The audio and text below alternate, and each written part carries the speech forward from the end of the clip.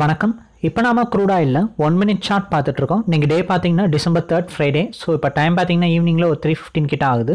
Market பார்த்தீங்கன்னா step by ஸ்டெப்பாக down சைடில் இறங்கிட்டு இருக்கு ஆக்சுவலி எவ்ரிடே பார்த்தீங்க அப்படின்னா நம்ம வந்து ஃபோக்கஸ் பண்ணுறது ஒன்று ஒரு டுவெல் பிஎம் இல்லாட்டி ஈவினிங் ஃபைவ் பிஎம் இந்த டயத்தில் தான் வந்து ட்ரேடிங் ரொம்ப ஃபோக்கஸ் பண்ணுவோம்.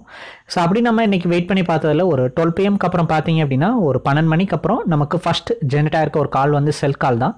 அதுவும் இப்போ இந்த த்ரீ டுவெண்ட்டிக்கு தான் பார்த்தீங்க அப்படின்னா ஜெனரேட் ஆயிருக்கு.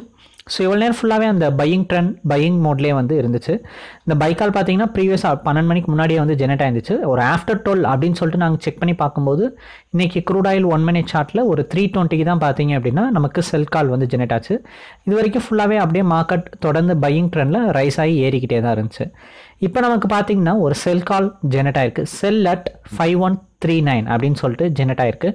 வந்திருக்க அந்த கால் ஃபஸ்ட் டாரட் வந்து பார்த்தீங்க அப்படின்னா கீழே வந்து five one twenty six point fifteen show பண்ணுது. So five one twenty six reach out ஆகுதா அப்படின்றத தான் இப்போ நம்ம வெயிட் பண்ணி பார்க்க போகிறோம் இந்த சார்ட்டில் பார்த்தீங்கன்னா ஒவ்வொரு நாளும் மார்க்கெட்னுடைய ட்ரெண்டை அனலைஸ் பண்ணிவிட்டு அதுக்கேற்ற மாதிரி கேண்டில் கலரோட கால்ஸ் வந்து ஜென்ரேட் பண்ணும். பையிங் ட்ரெண்ட்னா க்ரீன் கலர் செல் ட்ரெண்ட்னா ரெட் கலர்னு சொல்லிட்டு ஓப்பன் ஆகிட்டு என்ட்ரி பாயிண்ட் எங்கே எடுக்கலான்றதுக்கு அப்படியே கேண்டில்லேருந்து ஒரு ஸ்ட்ரைட் லைன் வரும்.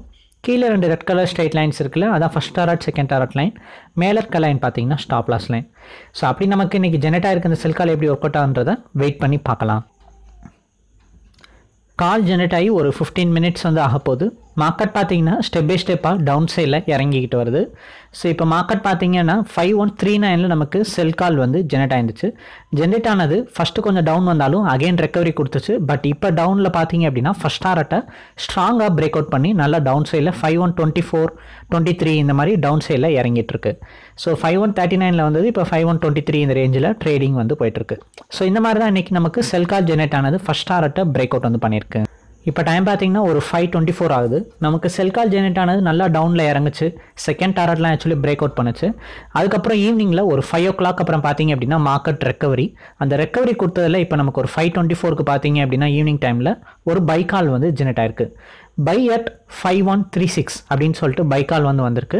மேலே நமக்கு ரெண்டு க்ரீன் கலர் லைன்ஸ் ஷோ பண்ணதில் அதான் first target second target line கீழே இருக்க ரெட் கலர் லைன் பார்த்தீங்க அப்படின்னா ஸ்டாப் லாஸ் லைன் ஸோ இப்போதைக்கு நமக்கு ஃபைவ் ஒன் த்ரீ சிக்ஸில் வந்திருக்க பை கால் பார்த்தீங்க அப்படின்னா five one forty nine range reach out ஆகுதா அப்படின்றத தான் இப்போ நம்ம வெயிட் பண்ணி பார்க்க போகிறோம் இந்த சார்ட்டில் பார்த்தீங்க அப்படின்னா ஒவ்வொரு நாளும் மார்க்கெட் ட்ரெண்ட் அனலைஸ் பண்ணிட்டு அதுக்கேற்ற மாதிரி கால்ஸ் வந்து ஜென்ரேட் பண்ணும். நம்ம இதை முன்னாடியே சொன்னது தான் ஸோ அப்படி தான் இன்றைக்கி நமக்கு ஒரு டுவெல் ஓ கிளாக் அப்புறம் ஒரு செல் கால் வந்துச்சு. இப்போ ஈவினிங்கில் ஒரு ஃபைவ் ஓ கிளாக் அப்புறம் பார்த்தீங்க அப்படின்னா ஒரு பை கால் வந்து வந்திருக்கு.